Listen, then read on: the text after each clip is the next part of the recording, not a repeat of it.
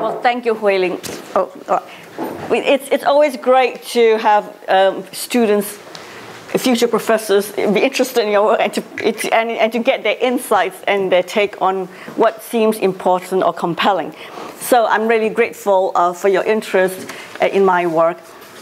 You know, I'm always betwixt and between topics and, and so this paper is a composite of two themes, as you can see. Um, uh, I, I have a forthcoming collection on worlding cities. Uh, worlding because they are in the process of becoming uh, uh global.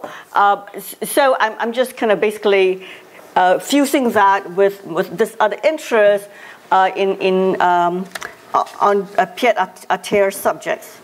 Okay. Maybe. The skylines of Asian big cities, Beijing, Shanghai, and Singapore, cause profiles of global emergence. This is one of my books that just came out. A mix of metropolitan might and megawatt appeal in the Asian metropolis presents an opportunity to rethink Asian urban forms and their role as the nexus between state and city, and the city and the generation of global values. I argue that the study of contemporary global forms and function um, must be located at the intersection of the nation, the information technology, uh, economy, and an international creative class.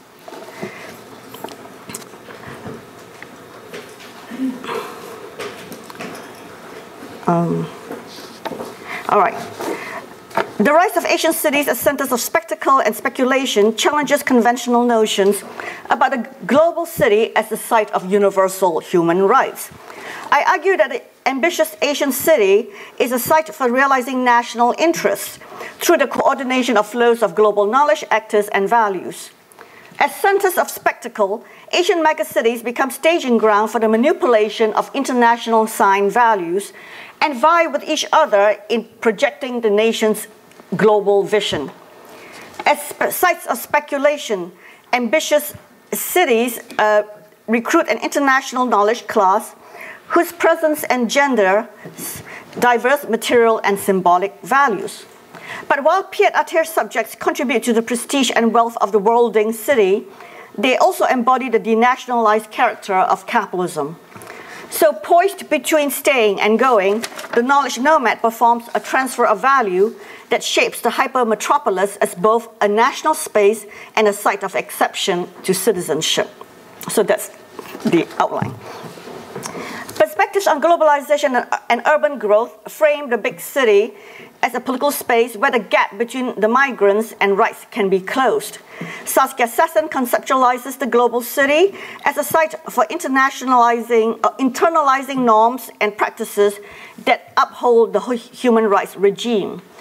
As a global center of finance and cosmopolitan culture, she argues, New York City enacts a denationalization of the nation, producing a city derived citizenship that is disarticulated from the home country. The city has an ensemble of global institutions and is, after all, host to the United Nations. Here, she claims, immigrants realize their human rights by claiming entitlements as citizens of the city, if not of the United States. Sassen's view finds an echo in Yasmin Soysal's argument that Turkish migrants in Germany can claim limited benefits and civil rights. A claim she says amounts to what a partial or post national citizenship. Finally, an even more sweeping assertion sees the city as a site of a counter empire. Michael Hardt and Antonio Negri argue that in a world transformed into a capitalist empire, the mobile multitude can assemble in the great city to demand what they call global citizenship.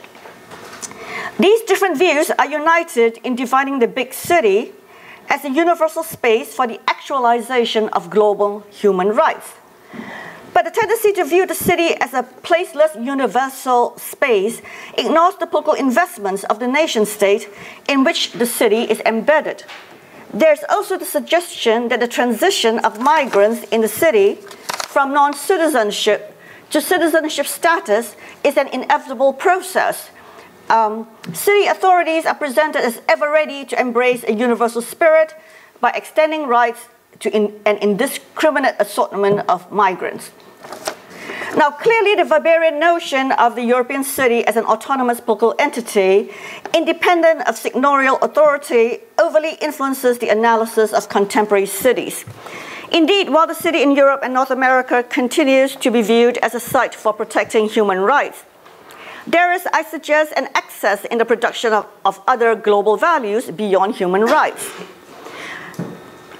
For instance, New York City, uh, although it's less uh, preening these days, New York is a city where the affluent that is, uh, is squeezing out the middle classes, young professionals, and everyday workers. Instead of regretting such a development, for instance, Mayor Bloomberg has boasted that his city is a luxury product. In contradiction to Bloomberg's representation, I argue, the desirable residents in Asia's emerging cities are less the rich and famous and more the educated and talented. That is, the creators of intellectual and speculative values. Oh, well, I'm, run, I'm sort of losing track of my phone. Let me see, which file is this one?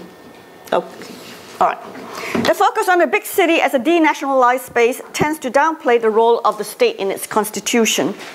There is also a popular view that global cities are nodes performing important functions for the global political economy, as presented in Saskia Sassen's famous The Global City. In contrast to these perspectives, I emphasize the city as a state space uh, that is not autonomous of the state, but is a zone of exception in the na national terrain. The East Asian metropolis is profoundly national, um, an accepted space for exper experimentations in urban form and rule.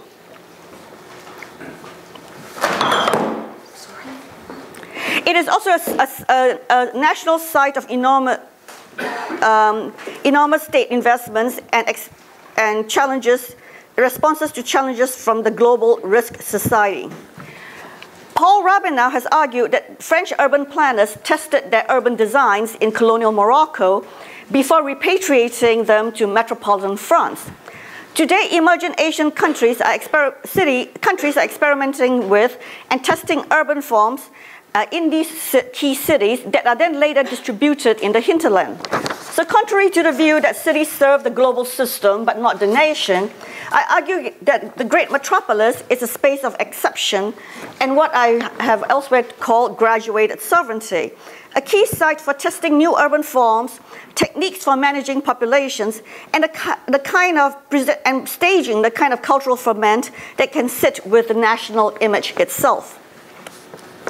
It is not possible to think about contemporary cities without considering global condi conditions of uncertainty. In his concept of reflexive modernization, Ulrich Beck notes unknown threats cannot depend on automized industrial responses, but de demand an epistemic and social construction of probabilities from the external dynamic uh, conditions of dynamism and uncertainty. The modern attitude, then, working with probable outcomes, has at its core a profound sense, uh, uh, has a profound core of calculation and risk strategy. Where else in the post 9 11 era but a great city can we find reflexive calculations about space, confronting the unexpected and shaping soaring visions of the future? In, in, emerging Asia, it is necessary to think about a great city as a site of the nation's self experimentation in the art of controlling the future. In this sense, I consider the great Asian city as an experimental system Thus, contrary to the view of the city as a naturalized human ecology proposed by the Chicago School of Sociology, Asian cities must be viewed as constituted by different logics of this experiment. Uh, the, the, and, and, and this is the experiment, you know, I would argue, involves various combinations of national power, markets, and, and global values. Experimental systems can be very productive for solving some kind of questions, but not others, but they acquire a sort of momentum that takes the experiment in unpredicted directions. So urban experiments articulate between national ambitions